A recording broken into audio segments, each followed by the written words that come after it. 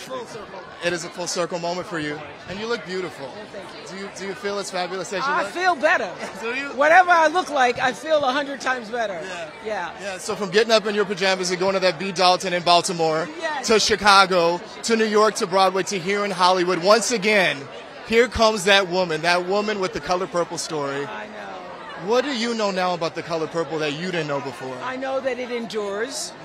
I know that the thing that I felt the very first time I read that book on that July Sunday in 1982, I think it's the, the, the power and essence of that story still resonates with everyone else. And I think this is now reimagined for another generation, and who knows what will come after. Because the principles of forgiveness and finding your own joy and discovering God within yourself and being able to express that in the world in a way that other people can see and know that you've been redeemed, that thing will be needed forever. Not even AI can change it. You know what I mean? As long as there are humans, there will be a need for what the color purple speaks to. So I feel good about that. One of the things I know you've said is that you wouldn't be who you were if it were not for this story.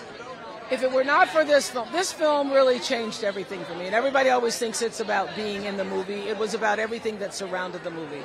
It was about the decision to surrender to get the part. It was about being around uh, Steven Spielberg and Quincy Jones and Alice Walker every day and seeing, oh, that's what your work should feel like.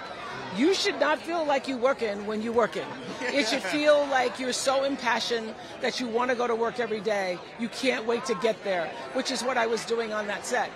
It feels like you own yourself. Me seeing Steven Spielberg own Amblin is what put the idea in my head that I could have a Harpo Studios. And so when I say it changed my life, what it really did to change my life is I had to give up three years of vacation in order to do it and only after I finished doing it did my lawyer say you never want to be in that position again, so you should own yourself.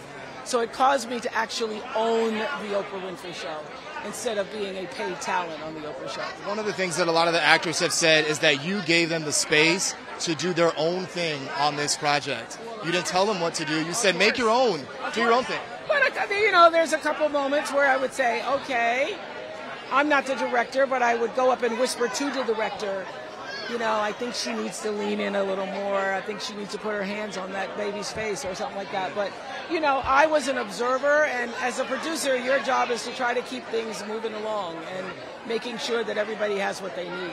So I love at this stage of my life being in that position to help somebody else. Go get it. Thank you, Ms. Winfrey. You're proof that purple endures forever. Thank you. Thank you for everything.